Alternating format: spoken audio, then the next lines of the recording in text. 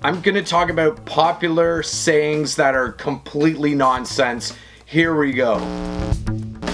The first one on the bat is gonna be the most popular. It is dark day, dark fly, bright day, bright fly that's a load of crap. I'm telling you right now, it doesn't matter. It matters that you're putting the fly in front of the fish's face and it looks fishy enough, it looks buggy enough, they're gonna take it. Uh, does the sculpin change color because it's dark out? It's gonna get really dark. Or uh, if it's really bright out, the sculpin's gonna change to white? Come on, man. It's like, use your head. Next one.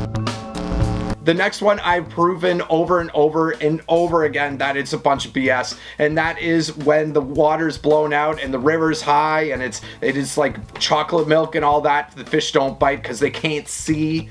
Dude, they can see, all right? They can find a little midge, they can find a little caddisfly, uh, they can find a big old uh, uh, dungeon fly, they can find everything. I've proven it time and time again. I've had times where people that I know, uh, that I consider really good fishermen, that I would want to go fishing with, not naming names, but you know who you are if you're watching, um, not want to go because, oh man, it's raining crazy outside or something. No, dude, that is when you want to go. That's when like the fish are like, they're more predictable. They're sticking closer to cover. I know where they're gonna be at. And there's, to me, I catch more fish in crazy crappy days. In fact, the best personal brown that I've ever caught and the best personal uh, brook trout that I've ever caught is on the most nastiest days when no one's out there. And I've of course caught them both on uh, big streamers, but that doesn't matter. What matters is, is that they're still biting. So give it a shot hook sets are free. They are not free. I'm telling you right now, anybody that sets a hook when you're when you're dredging bottom sometimes and you go like this,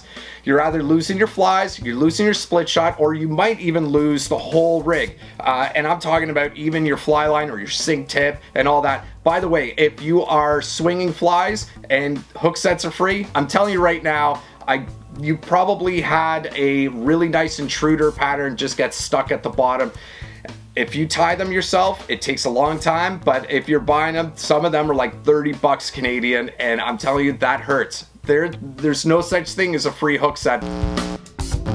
The next one that bothers me is uh, when people say that salmon don't bite when they enter the river. Yes, they do bite. I've watched them, I've caught them chasing streamers tons of times. Uh, my favorite color is gonna be chartreuse. Telling you right now, if you use any any chartreuse pattern, uh, whether it's an intruder or just uh, stripping streamers, you are, are, are in the zone. You will most likely get into salmon. Now, I will say, they are harder to catch the, high, uh, the, the higher up the river they go. So uh, when they're in the gravel bottoms, they're doing their thing. First of all, you don't fish a spawning fish. What we're trying to do is we're trying to intercept them before they get up there, okay? And there's a lot of aggressive males. In fact, I've never caught a female when I'm stripping streamers. I've only caught males and they're always angry and it is a fight of a lifetime. You owe it to yourself to go out and fish with streamers for these beautiful, gorgeous, massive fish. Listen, there's tons of other sayings and I could just make this video like 50 minutes long if I wanted, but I'm gonna end it here because, uh, well, why not? Get out there, go fish, keep her tight. We'll catch you on the next one.